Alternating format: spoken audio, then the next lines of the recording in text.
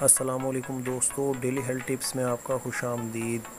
دوستو، آج کا ہمارا ٹاپک امبر ہے۔ آج میں آپ کو بتاؤں گا کہ امبر کیا ہے۔ امبر اور امبر اشب میں کیا فرق ہے۔ اصلی امبر کی کیا پہچان ہے اور یہ کہاں پایا جاتا ہے اور اس کے حکمت کے لحاظ سے کیا فائدے ہیں۔ تو چلیے دوستو، ویڈیو کو سٹارٹ کرتے ہیں۔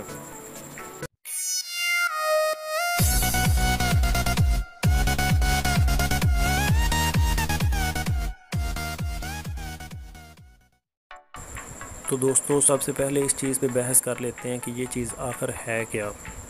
تو جیسا کہ یہ شکل و صورت سے نظر آتی ہے، دیکھنے سے ہم اگر مشاہدہ کریں تو ایسا معلوم ہوتا ہے جیسے کوئی یہ معدنی پتھر ہو۔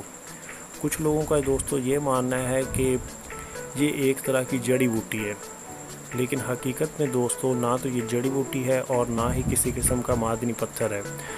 بلکہ یہ ایک ویل ہوتی ہے جسے ہم اسپر ویل یا سپرم ویل بولتے ہیں۔ یہ اس ویل کے پیٹ سے نکلا ہوا مواد ہوتا ہے۔ یہ ویل دوستو نارتھ اتلانٹک اوشن میں پائی جاتی ہے اور بہت بڑے سائز کی ہوتی ہے۔ میں تھوڑی سی تفصیل بیان کرنا چاہوں گا کہ یہ اس کے پیٹ میں کیسے پیدا ہوتا ہے اور کیسے یہ بنتا ہے۔ تو دیکھیے دوستو، جب مچھلی کھاتی ہے چھوٹی چھوٹی مچھلیوں کو، جو کہ اس کا چارہ ہوتی ہیں، خوراک ہوتی ہیں تو وہ مچھلیاں اس کے پیٹ میں ہضم ہوتی رہتی ہیں، مگر ان کی جو بچی کچی ہڈیاں ہوتی ہیں وہ اس کے پیٹ میں ہی رہ جاتی ہیں اور انہیں یہ ہضم نہیں کر پاتی۔ تو کافی عرصے تک یہ انہیں اپنے پیٹ میں ہی لیے پھرتی ہے اور ان، اس مچھلی کا جو پتا ہے، وہ ان ہڈیوں میں زہر اگلتا رہتا ہے۔ اور وہ ہڈیاں جو ہوتی ہیں، وہ بالکل باریک پاؤڈر بن جاتی ہیں، لیکن پھر بھی وہ ہضم ہو کر انتھڑیوں میں نہیں جاتی۔ اور آخر کار وہ ایک قسم کا زہر بن جاتی ہیں۔ اس زہر کو مجبوراً اس مچھلی کو اگلنا پڑ جاتا ہے اور یہ مچھلی اسے سمجھ لیں مطلب الٹی کرتی ہے اور اپنے منہ سے نکال دیتی ہے۔ جو ہی اس کے منہ سے نکلتا ہے، یہ سطح سمندر پر آ جاتا ہے اور تیرنا شروع ہو جاتا ہے۔ تب دوستو، اس کا رنگ بالکل سیاہ ہوتا ہے اور اس میں سے گندی بدبو آتی ہے۔ اور پھر یہ اسی طرح عرصہ دراز تک تیرتا رہتا ہے۔ وقت کے ساتھ ساتھ اس کا رنگ زرد پڑ جاتا ہے اور اس کی بدبو آہستہ آہستہ ختم ہو جاتی ہے اور آخر کار اس میں سے بدبو آنا بند ہو جاتی ہے۔ تو پھر اسی طرح سالہ سال یہ تیرتا رہتا ہے اور اس میں کچھ چینجنگ آنا شروع ہو جاتی ہے۔ اس کا رنگ آہستہ آہستہ سفیدی مائل ہونا شروع ہو جاتا ہے اور اس میں سے بہت اچھی خوشبو آنا شروع ہو جاتی ہے۔ یہ اللہ تعالیٰ کا نظام ہے دوستو، یہ اللہ کا ایک کرشمہ ہے۔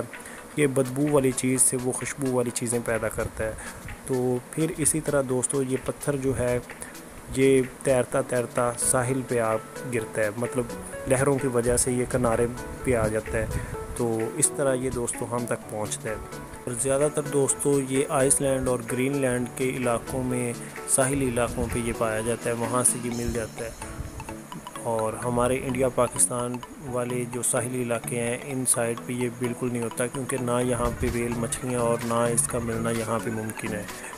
تو اب باری آتی ہے کہ میں آپ کو بتاؤں کہ امبر اور امبر اشب میں کیا فرق ہے۔ تو دوستو، جیسا کہ آپ نے ابھی سنا کہ یہ پتھر کافی عرصہ پانی میں رہتا ہے اور تیرتا رہتا ہے۔ تو جتنی دیر یہ زیادہ پانی میں رہتا ہے، اسی قدر اس کا رنگ سفید ہو جاتا ہے۔ تو جتنا زیادہ یہ سفید ہوگا، اتنا ہی ہم اسے اشب کہیں گے۔ مطلب اتنا یہ خاص ہوگا، خالص ہوگا۔ تو اس کی عمدگی کی بھی یہی نشانی ہوتی ہے کہ یہ زیادہ سے زیادہ پانی میں رہا ہو اور جس قدر یہ پانی میں زیادہ رہتا ہے، اس قدر اس میں سے تیز خشبو ہوتی ہے، اسی قدر اس کے فائدے زیادہ ہوتے ہیں اور اسی قدر اس کا رنگ جو ہوتا ہے سفید ہوتا ہے۔ تو دوستو، اس کے اسی طرح بہت سارے فائدے بھی ہیں، لیکن اس کے لیے اس کا خالص ہونا بہت ضروری ہے۔ آپ جانتے ہیں کہ یعنی پاکستان اور انڈیا کے جو ممالک ہیں، ان میں ایسی چیزیں ملنا جو کہ بالکل خالص ہوں، بہت مشکل بات ہے۔ تو اس کو چیک کرنے کا دوستو، ایک دو طریقے ہیں جو میں آپ کے سامنے پیش کر رہا ہوں کہ سب سے پہلے تو طریقہ یہ ہے کہ آپ ایک سوئی لیجیے اور اسے گرم کیجیے، یہاں تک کہ وہ بالکل سرخ ہو جائے۔ جب وہ ہیٹ کی وجہ سے سرخ ہو جائے تو آپ اس پہ جو یہ مادہ ہے یا پتھر سمجھ لیجیے، اس پہ وہ آپ لگائیے۔ ترچھی آپ اس پہ لگائیے اور اس میں سے جو دھواں نکلے گا، بہت سے لوگ کہتے ہیں کہ جو دھواں نکلتا ہے اس کی بس آپ سمیل لیجیے، اگر اس کی سمیل میں خوشبو ہو تو ٹھیک ہے ادروائز یہ ٹھیک نہیں ہے۔ لیکن یہ طریقہ صحیح نہیں ہے۔ اگر اس کی سمیل میں سے جلی ہوئی بدبو آئے مطلب آپ تھوڑا سا غور کیجیے کہ خوشبو تو آئے گی اس کے دھوئیں میں سے، لیکن اگر اس کے دھوئیں میں سے ہلکی سی جلنے کی بدبو آئے تو ایسا سمجھیے کہ جو آپ کے پاس یہ امبر ہے، یہ نقلی ہے۔ اور اگر آپ کے پاس وہ جو دعا جو آپ سونگیں گے، اس میں سے بدبو جلی ہوئی چیز کی نہیں آتی۔ بالکل ویسی خوشبو آتی ہے جیسی کہ اس میں سے پہلے آ رہی ہے، بغیر اس کو سوئی لگائے۔ تو پھر آپ سمجھیے کہ جو آپ کے پاس امبر ہے وہ بالکل اصلی ہے اور اچھی حالت پہ ہے۔ اس کے بعد دوستو یہ چیک کرنا ہوتا ہے کہ یہ امبر مکمل طور پہ اصلی ہے یا نہیں۔ ایسا تو نہیں کہ اس میں ملاوٹ کی ہوئی ہے۔ تو اس کو چیک کرنے کا دوستو یہ طریقہ ہوتا ہے کہ آپ ایک اچھی شیشی لیجیے، اس کا منہ اچھی طرح سے بند کر دیجیے تاکہ اس میں سے دھواں نہ نکل پائے اور اسے انگاروں پہ آپ رکھ دیجیے۔ اور پھر آپ اسے دیکھتے رہیے تمام کا تمام امبر جو ہے وہ تیل کی شکل اختیار کر لے گا، تیل بن جائے گا۔ اور تیل میں جو بھی کچرا ہو، جو اس میں ملاوٹ ہوگی، وہ علیحدہ ہو جائے گی، تیل علیحدہ ہو جائے گا۔ اور پھر آپ اسے جب ٹھنڈا کریں گے تو وہ واپس موم کی طرح جم جائے گا، ویسی شکل اختیار کر لے گا جیسی کہ اس کے پہلے تھی۔ تو یہ ہوتا ہے دوستو، ملاوٹ سے اسے پاک کرنے کا طریقہ۔ تو دوستو، اب بات کرتے ہیں اس کے فائدوں کی۔ حکمت میں اس کے کیا کیا فائدے ہیں اور اسے کس طرح استعمال کرنا چاہیے۔ لیکن اس سے پہلے میں آپ کو بتا دوں اس کا مزاج اور اس کا ذائقہ اور اس کی خوراک اس کی خوراک کتنی آپ نے استعمال کرنی ہے۔ تو دوستو، اس کا مزاج دوسرے درجے میں گرم اور پہلے درجے میں خشک ہے۔ اور اگر ذائقے کی بات کریں تو ذائقے میں یہ بالکل پھیکا ہے، اس کا کسی قسم کا کوئی ذائقہ نہیں۔ اگر باہر سے چیک کریں تو اس کا ذائقہ آپ کو ہلکا ہلکا نمکین معلوم ہوگا، لیکن اندر سے اس کا ذائقہ جو ہوتا ہے وہ بالکل نہیں ہوتا اگر آپ اسے چکھیں تو۔ تو اس کے علاوہ دوستو، اس کی خوراک جو ہے وہ ایک رتی سے دو رتی تک ہے۔ اگر آپ اسے اکیلا استعمال کریں تو ایک رتی سے دو رتی تک آپ اسے استعمال کر سکتے ہیں اور زیادہ تر یہ آپ جانتی ہوں گے کہ خمیرہ گاؤ زبان جسے گاؤ زبان امبری کہتے ہیں، اس میں یہ استعمال ہوتا ہے خمیرہ ابریشم جو ہے حکیم ارشد والا، اس میں یہ استعمال ہوتا ہے اور اسی طرح کر کے یہ اور بھی کئی معجونے ہیں جس میں اسے استعمال کیا جاتا ہے، لیکن اس کا زیادہ تر جو فائدہ ہوتا ہے وہ دل و دماغ کو ہوتا ہے۔ یہ دل اور قلب کے لیے بہت اچھی چیز ہے۔ دل کی دوستوں کچھ ایسی بیماریاں ہیں جس میں کسی قسم کی کوئی دوا فائدہ ہی نہیں کرتی۔ مگر یہ امبر ایسے سمجھیے جیسے اس مرض کے لیے بناؤ، جیسا کہ دل کے وال بند ہو جاتے ہیں تو ایسے مریض کو اگر آپ دو تین خوراکیں دے دیں تو اس کے دل کے وال کھل جائیں گے۔ اس کے علاوہ دل کا ہارٹ اٹیک جو ہوتا ہے، اگر ایک دفعہ ہو چکا ہے تو دوبارہ آپ اس مریض کو کچھ خوراکیں کھلا دیں تو دوبارہ اللہ کے حکم سے دوبارہ اس کو ایسا کوئی پرابلم ہونے والا نہیں ہے۔ اور اگر دماغ کی بات کریں تو دماغ میں خون جم جاتا ہے مطلب دماغ کی جو بریک شریانیں ہوتی ہیں، ان میں جب خون جم جاتا ہے تو فالج لقوہ ہونے کا اندیشہ ہوتا ہے یا فالج لقوہ ہو جاتا ہے۔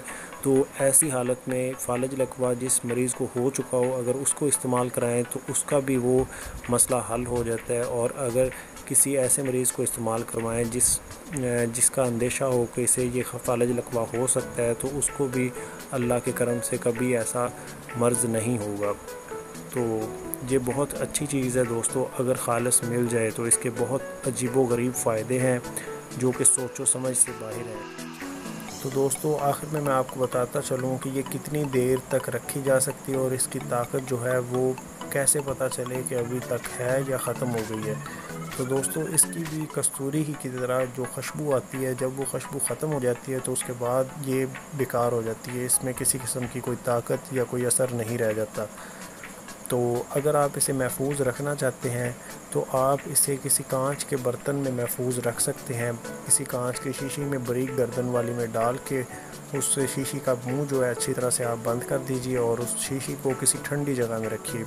گرم جگہ پہ رکھنے سے یہ خراب ہو جائے گی۔ آپ اسے ٹھنڈی جگہ پہ رکھیے تاکہ یہ جمی رہے۔ گرم جگہ پہ رکھنے سے یہ پگھل جایا کرتی ہے۔ تو اس حالت میں دوستو یہ دس سال تک خراب نہیں ہوگی۔ اگر آپ اسے کھلے میں رکھ دیں گے یا کسی کھلی چیز یا کسی کھلے برتن میں آپ اسے رکھ دیں گے تو اس کا خراب ہونے کا خطرہ بہت زیادہ ہوگا، یہ بہت جلدی خراب ہو سکتی ہے۔ تو جب تک اس میں سے خوشبو آتی رہے، اس کے فائدے اور جو اس کی طاقت ہے وہ برقرار رہتی ہے اور جب اس کی خوشبو آنا بند ہو جائے تو یہ بالکل سمجھ لیجیے جیسے مٹی ہو گئی۔ اور اسے دوبارہ زندہ نہیں کیا جا سکتا، جیسے کہ کستوری کو میں نے آپ کو بتایا تھا کہ زندہ کیا جا سکتا ہوتا ہے، لیکن اسے زندہ نہیں کیا جا سکتا ہوتا۔